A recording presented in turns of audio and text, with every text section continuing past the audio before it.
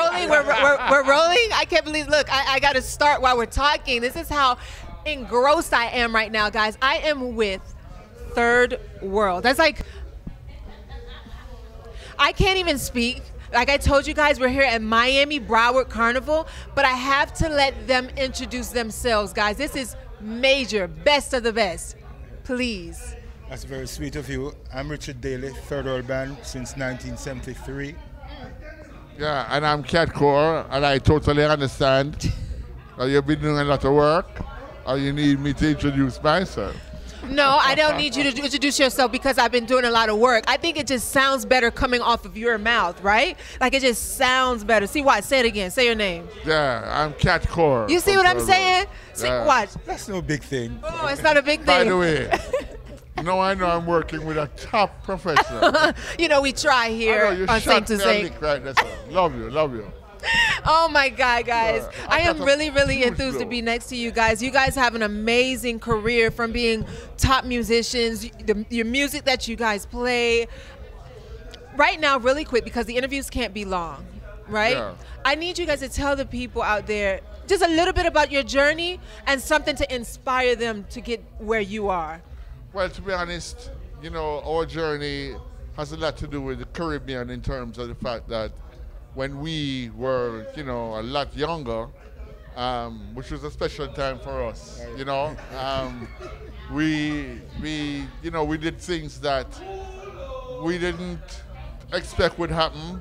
I mean, I never expected that we would go to Guyana and play, you know, at the cricket stadium and that they would have to bring men on horses Wow. to keep the people out. I'm telling you. You know, men, men riding horse in the party.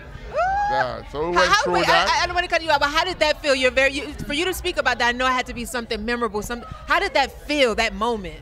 No, it felt great. I mean, it felt great to be in Guyana for the first time and to, to understand that the Guyanese people, not just the Dreadlocks brethren, but the people were so in love with our album 96 Degrees in the Shade. Hmm.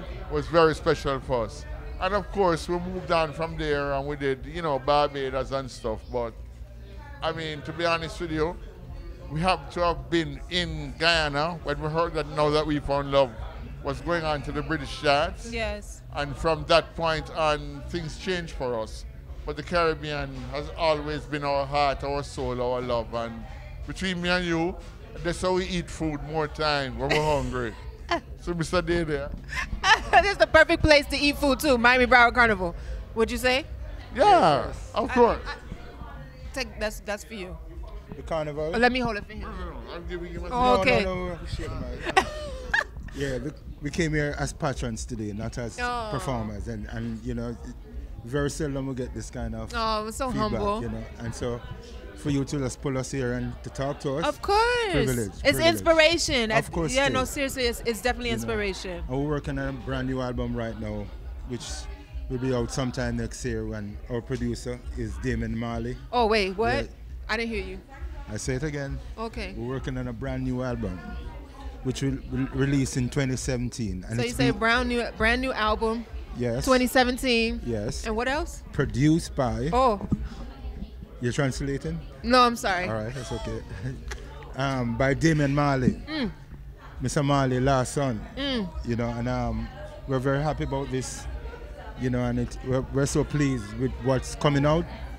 And we know Third World um, family and friends will be quite impressed with what's coming. I, I can't I can't wait. Yes. I'm not even gonna lie. I really I really can't wait. I you know I do want to say something really quick. I know you. Is it both of you that play different instruments? Uh, uh, multiple instruments?